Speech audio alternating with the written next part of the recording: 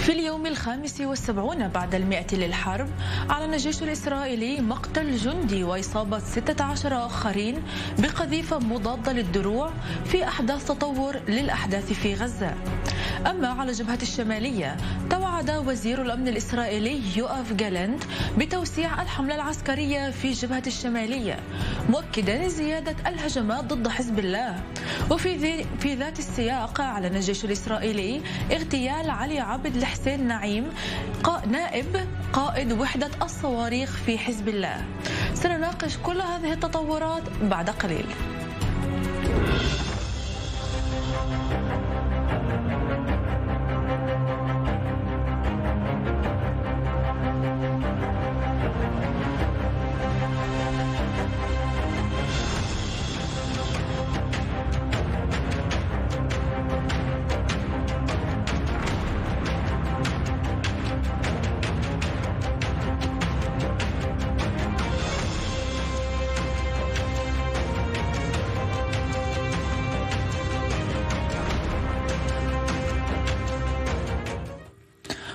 مراسلنا عمر ربيع تواجد في منطقة باب العمود وأعد لنا التالي. نعم هلا اذا نتواجد في باب العمود وهو أحد الأبواب الرئيسية للبلدة القديمة في القدس والمؤدي إلى الحرم القدسي الشريف. اذا يعني هنا الأجواء هادئة احتفالية نوعا ما لأن يعني الصائمين يقومون بالتواجد في هذه المنطقة من أجل الترفيه عن أنفسهم بعد يعني الإفطار واستعدادا لصلاة قيام الليل في شهر رمضان المبارك ألا وهي صلاة التراويح. أريد أن أشير إلى أمر آخر ألا وهو أن الفترة القادمة أو التي نتواجد بها الآن هي فترة العشر الأواخر. من رمضان في هذه الفترة يلجأ المسلمون والمصلون بشكل خاص إلى يعني الاعتكاف في داخل المساجد وهذا الأمر أيضا صحيح بالنسبة للمسجد الأقصى المبارك. العديد من المصلين يقومون بالتعبد يعني عن طريق المكوث فترة طويلة جدا أيضا في ساعات الليل في المساجد للتعبد. وبالتالي فإن الأمن الإسرائيلي أيضا يقوم بأخذ بعين الاعتبار والأخذ بالحسبان بأنه يمكن أن يكون هناك توتر يعني جراء هذا الأمر. وبالتالي فإن الشرطة الإسرائيلية أيضا قامت بتعزيز تواجدها وانتشارها حينما دفعت بثلاثة ألاف عنصر في جميع أنحاء, أنحاء وأرجاء المدينة من أجل الحفاظ على السلم الأهلي. نريد أن نشير أيضا إلى أن هذه العشرة أيام يتخللها أيضا ليلة القدر. وفي هذه الليلة يعني يكون هناك حضور كبير جدا في المسجد الأقصى المبارك. و من كل المناطق في من يعني من إسرائيل أيضا من الأراضي الفلسطينية. أولئك الذين منحهم الأمن الإسرائيلي يعني التصريح للدخول يعني لهذه المنطقة.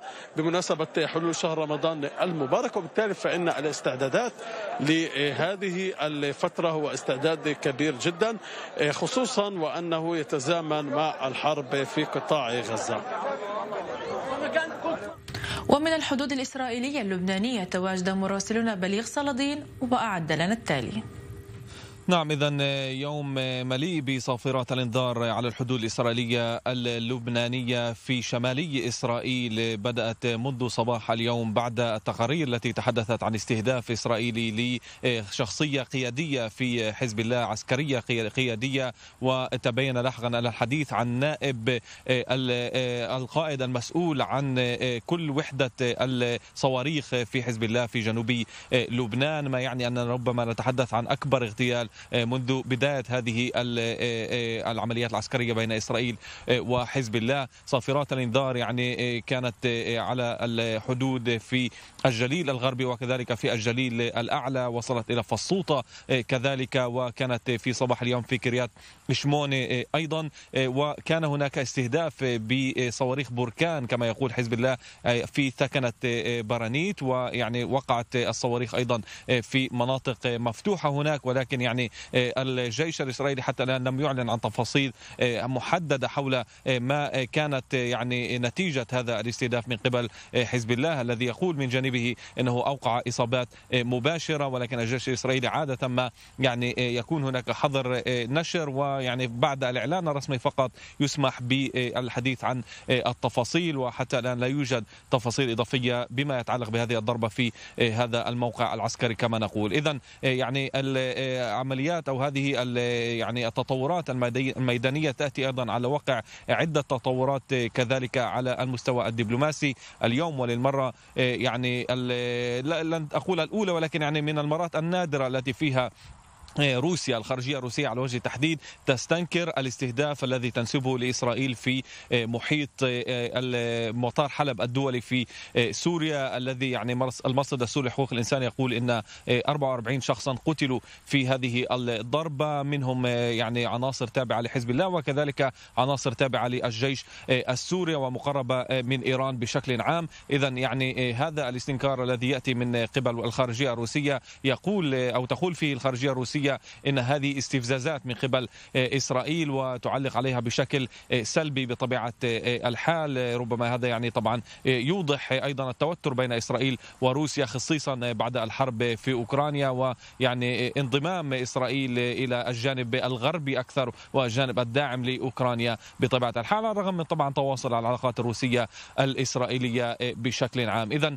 يعني هذا الاستنكار أيضا يعني حول هذه الضربة المنسوبة لإسرائيل. إسرائيل يعني استمعنا كذلك إلى تصريحات من قبل آه، وزير الأمن الإسرائيلي يؤاف جالانت الذي يعني آه، بالمناسبة كان قد تواجد في مقر القيادة الشمالية في صفد آه، في لحظة استهداف هذا العنصر أو القيادي في حزب الله. ويقول جالانت في هذه التصريحات بما يتعلق بالضربة المنسوبة لإسرائيل في سوريا إن حزب أن عفوا الجيش الإسرائيلي يوسع من عملياته بداية ضد حزب الله وينتقل من مرحلة الدفاع إلى مرحلة الهجوم وملاحقة عناصر حزب حزب الله أينما كانوا يسمي عدة بلدات آه، في آه، لبنان نعلم أن الجيش الإسرائيلي استهدف عناصر حزب الله فيها منها بعلبك آه، وكذلك صور وصيدا وعدة بلدات كذلك في العمق اللبناني. ومن جهة أخرى يقول سوف نلاحق أيضا عناصر حزب الله في أماكن أبعد من ذلك يسمي دمشق ويقول أبعد من دمشق حتى هذا يذكرنا طبعا بالعملية المنسوبة أيضا لإسرائيل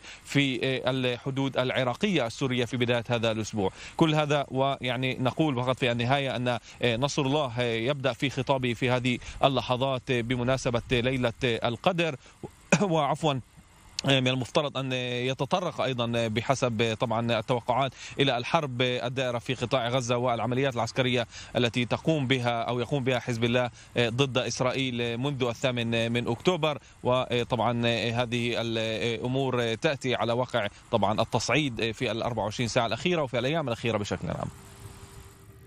وأريد أن أرحب بضيفي دكتور جاك نيريا ضابط احتياط في الاستخبارات العسكرية ومستشار سابق لرئيس الوزراء. أهلا بك دكتور جاك.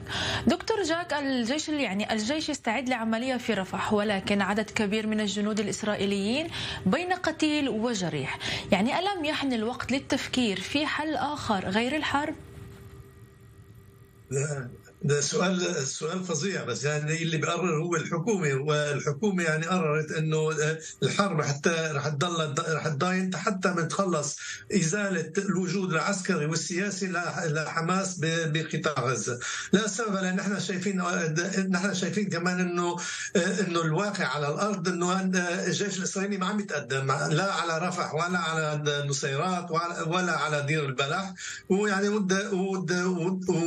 وكل الجهود هذه بتكون على المستشفى الشفاء والنصر وأمل وغيرهم من من الأماكن اللي بيتخبوا فيها المخربين مخربين حماس.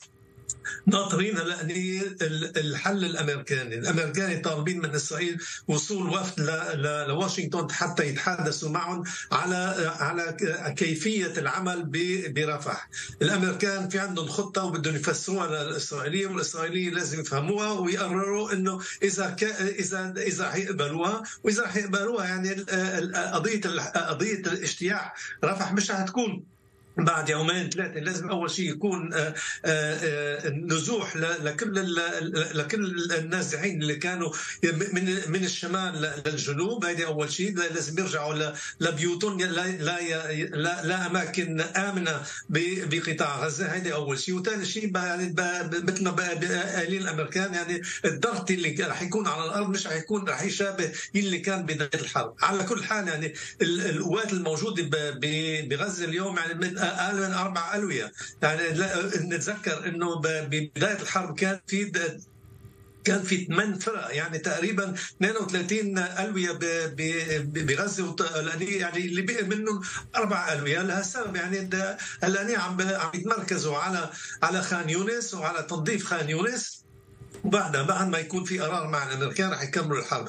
أنا مش شايف إنه رح يكون في حسب ضغط الضغط الشعبي وضغط الحكومة إنه رح يكون في وقف إطلاق نار آه، آه، يما وقف إطلاق نار يعني نهائي ونهايه الحرب. لأنه لأنه أنا شايف إنه آه، الوسائل السياسية والصفقات على على المخطوفين مش مش رح تنجح لأنه الموقف موقف حماس ضله مثل ما كان من الأول يعني كان كان متعند عم يتعندوا إنه أول شيء لازم يكون نهاية الحرب، اثنين لازم يكون انسحاب القوات الإسرائيلية من قطاع غزة، وثلاثة لازم يكون إرجاع المدنيين اللي تركوا بيوتهم من الشمال من الشمال للجنوب إلى بيوتهم إلى بيوتهم بالشمال، لا يعني بثلاث شروط هيدي اسرائيل ما فيها تقبلها، لا سبب أنا شايف إنه نحن عم نتقدم شوي شوي يعني بعد انتظار كم كم يوم كم أسبوع لاجتياح آه، رفح آتي. يعني هل يمكن أن نعتقد أن العملية في رفح ستبدأ أما بعد شهر رمضان أم بعد عيد الفطر؟ لا محالة طبعا. أكيد أكيد بعد عيد الفطر لأنه ده حتى ما تطلع ما يطلع الوفد لواشنطن ويرجع ويفسر للجيش والجيش يحضر حاله والقرار يتخذ بالحكومة. يعني الحكومة هو ده بالمناسبة هذا نتنياهو إذا مش رح يكون في شيء على الأرض يعني مش رح يكون في تقدم. من وقت لوقت إذا كان حيكون في آه، آه، يعني استخبارات اما إما آه، على معلومات على وجود قيادي حماس بمكان كذا وكذا راح يكون في ضربه من الجو يا إما من المدفعية يا إما راح تكون عملية كوماندو على على ذات المحل. أكثر من هيك أنا مش شايف بالأسبوع وبالاسبوعين الجايين. نعم يعني دكتور دكتور جاك يعني نفهم أن الأولوية هي للعملية في رفح وليس لإتمام صفقات تبادل. يعني اذا لماذا يرسل نتنياهو رئيس رئيسي الشباك والموساد إلى الدوحة والقاهرة؟ ما المغزى من هذه؟ نعم تفضل. في في ضغط شعبي في ضغط شعبي طالب بصفقة للمخطوفين لأنه هذه كانت مسؤولية الحكومة من 7 أكتوبر وفشل الحكومة وفشل يعني بائز فظيع اللي كان يعني ما كان مثله من من من 50 سنة مثل هال مثل هالفشل. في في ضغط شعبي وفي ضغط كمان داخل الحكومة طالبين من من نتنياهو إنه يجرب يتوصل على أي صفقة مع مع مع حماس لأنه الوقت يعني صار صار صار ضيق كثير ويعني من يوم ليوم نحن عم نعرف إنه في ناس يعني في في مخطوفين يعني على باقيين على قيد الحياة وغيرهم يعني صاروا بين الأموات. يعني نحن مش لازم ننطر إنه 134 تابوت يرجعوا لإسرائيل. لازم لازم نجرب يعني نعمل كل جهد معقول حتى نتوصل على أي صفقة. وهذا هذا الوضع اللي اللي إسرائيل طلبته. لهالسبب يعني في مثل ما قلت في أولوية أولوية إنه محاربة محاربة حماس والاولويه الثانية هي كمان يعني آه، آه، المخطوفين الإسرائيليين. وهذه يعني الأولويتين هذه هي هي هو الهدف الرئيسي للحكومة. يعني غيره ما في شيء. نعم ولكن يعني أنت تقول أن الأولوية الأولى هي محاربة حماس وليس إعادة المخطوفين صحيح؟ حسب حسب ما حسب حسب رئيس الوزراء عندنا حسب نتنياهو هذا هو هذه هي أولويته يعني أولويته هو هو عارف. إذا إذا وصلنا على وقف إطلاق نار يعني مثل ما طال مثل ما بشروط حماس يعني إسرائيل خسرت الحرب. هذا يعني مش معقول من من الجانب الإسرائيلي. هو مصمم مصمم إنه يتوصل على على هدفه هو التخلص من من الوجود السياسي والعسكري لحماس. يعني هيدي لها سبب. أنا إنه الأولوية هي أولوية محاربة حماس. يعني وبزاد السياق يعني ما ننسى إنه في كمان المخطوفين يعني نعمل كل جهد معقول. يعني لأنه في كمان ضغط أمريكاني وفي ضغط آه، من جانب قطر ومن من مصر إنه نتوصل على أي صفقة. وإذا كان رح توصل على صفقة رح تكون أول شيء صفقة للأولاد وللنسوان وللاختياريين والمرضى يعني اللي باقيين هناك رح يكونوا الجنود اللي باقيين هيدي آخر آخر آخر آخر صفقة. وهي رح تكون بجوز بعد الحرب يما مش رح تكون بالمرة. نعم. ابقى معي دكتور جاك. أريد أن أنتقل إلى قطاع غزة. وأريد أن أرحب بالصحفي المختص بالشأن الفلسطيني سهيل ناصر. أهلا بك سهيل. سهيل بداية ما هي آخر التطورات الميدانية لديك في القطاع؟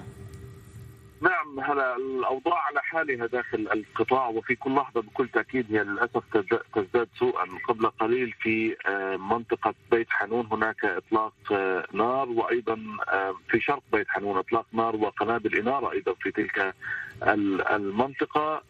إضافة إلى ذلك أيضا في محيط مجمع الشفاء الطبي الذي هو لم يصبح طبيا حتى اللحظة بعد تدمير كل مكوناته الأساسية كتقديم خدمات ورعاية صحية وطبية للمرضى والمواطنين وحتى للمصابين. آه، أيضا يسمع بين الفين والاخرى هناك إطلاق نار آه، متقطع في تلك المنطقة. وما زالت أيضا المداهمات الإسرائيلية والتفتيش الإسرائيلي آه، مستمر حتى اللحظة. في المناطق أيضا الوسطى أو تحديدا في المناطق الجنوبية يعني هنا في رفح هدوء حذر ان صح التعبير مع استمرار الجهد الاستخباراتي إضافة إلى ذلك في منطقة خان يونس أيضا هناك بعض إطلاق النار المتقطع. هذا الأمر أصبح اعتياديا بالمناسبة وليس أو لا يندرج تحت إطار الخبر العاجل. إطلاق النار المتقطع وأيضا إن يكون هناك قصه بالمدفعية أيضا بشكل متقطع في بعض المناطق الشرقية لخان يونس والمناطق الفاصلة ما بين خان يونس ورفح هذا أمر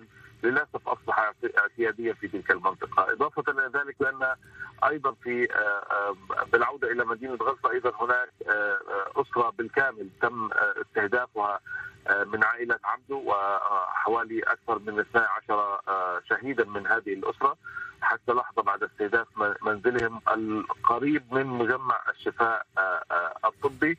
يذكر بأن العديد من العائلات لم تترك شمال غزة أو حتى مدينة غزة وبالتالي بقوا إلى هناك والآن هم معرضون بشكل أو بآخر إلى إلى حالات التجويع، إضافة إلى ذلك بأن واضح هلا بأن الإحداثيات التي يعطيها الجيش الإسرائيلي للطائرات التي تسقط مساعدات إلى قطاع غزة. هي متعمدة بأن تسقط بعض المساعدات في مناطق صعب الوصول إليها أو حتى تسقط آه، في البحر، هناك أكثر من 18 شهيد ماتوا غرقا بسبب آه، آه، يعني محاولاتهم للوصول إلى المساعدات التي سقطت في البحر ولكن بسبب المظلات التي سقطت ربما يعني تشابكت أرجلهم واجسادهم وبالتالي لم يستطيعوا الخروج وبالتالي ماتوا غرقا بسبب المحاولات للحصول على نعم. الغذاء، إضافة إلى المساعدات مستمرة للدخول إلى قطاع غزة ولكنها بامكانيات ضئيلة وأيضا مع المناطق التي يترك فيها الجيش الإسرائيلي السكان للتوجه للحصول على الغذاء أو بعض المعونات وإن كانت هي معلبات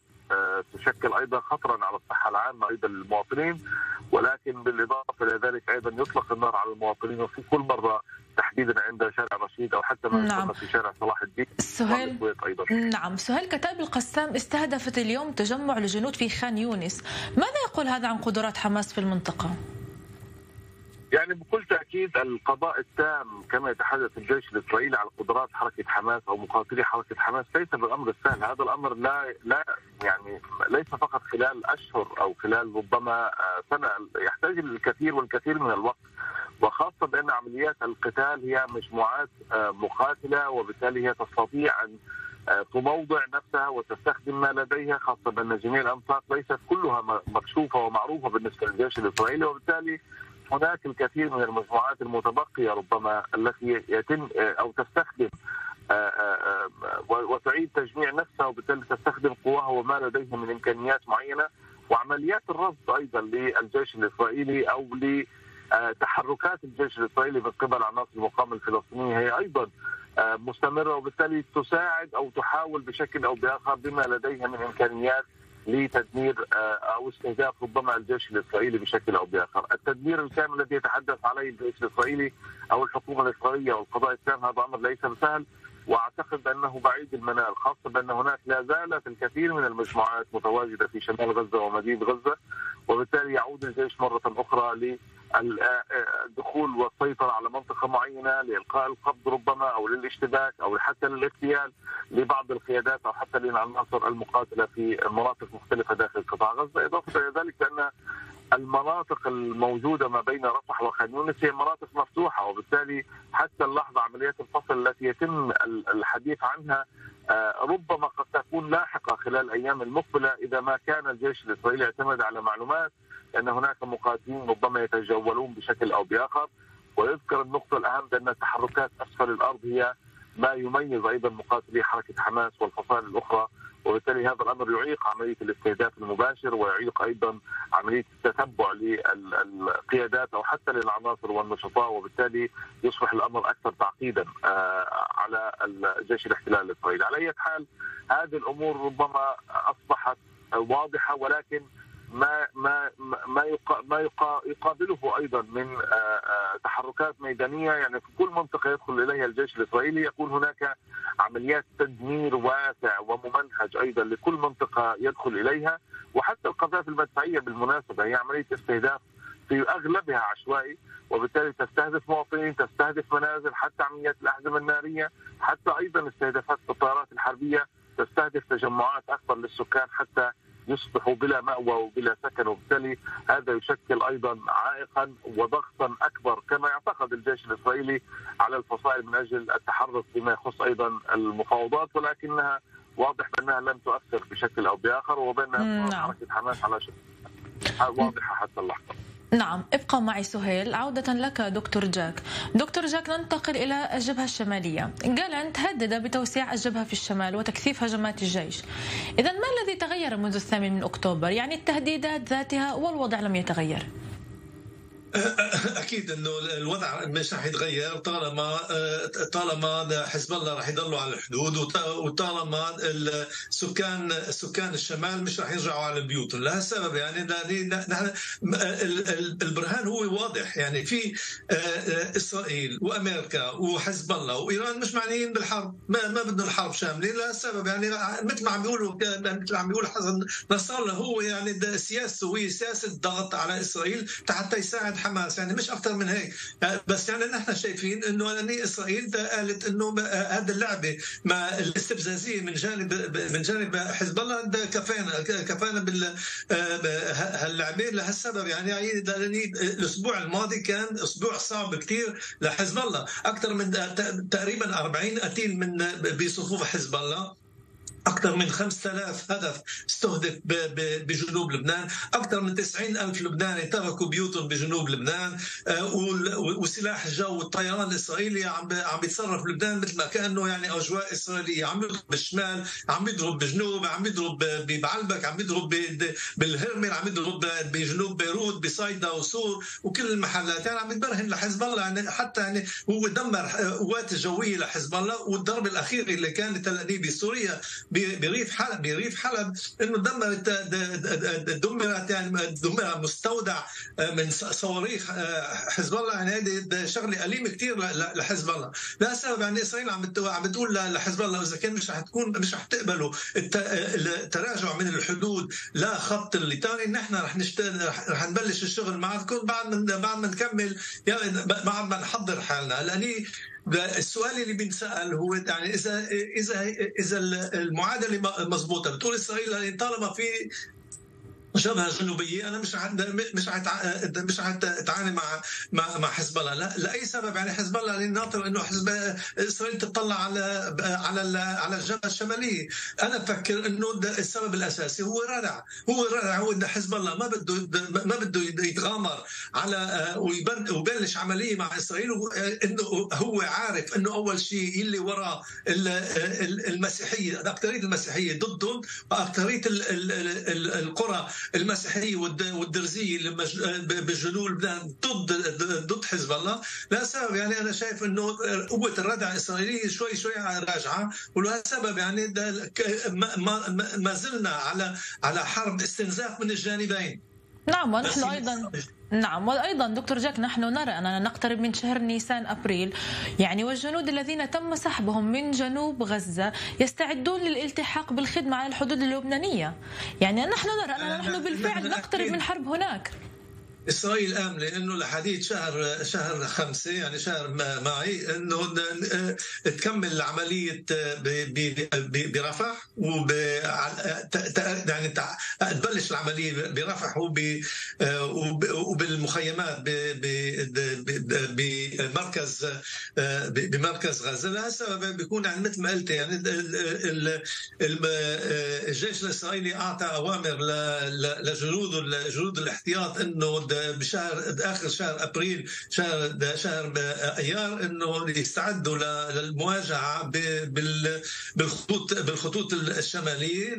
يعني بس ناطرين يعني الأوامر الأمر بعد ما انعطى. يعني التحضيرات موجودة وكل شيء موجود على على الأرض. وفي واخرتها يعني أنا شايف إنه إذا كان رح يكون في شيء بينه وبين حزب الله رح يكون في اجتياح بري من جانب إسرائيل لحتى تتوجه لحديث الليطاني. ولما توصل على الليطاني رح يكون في اراء سياسي من من من جانب من جانب آه، آه، الولايات المتحدة ياما من جانب نعم الأمم ولكن المتحدة نعم نعم دكتور جاك نعم. ولكن يعني مئة ألف نازح إسرائيلي في الشمال وفي حال اتسعت الحرب هناك يعني هل يمكن لمواطني الشمال أن يتحملوا كل هذا؟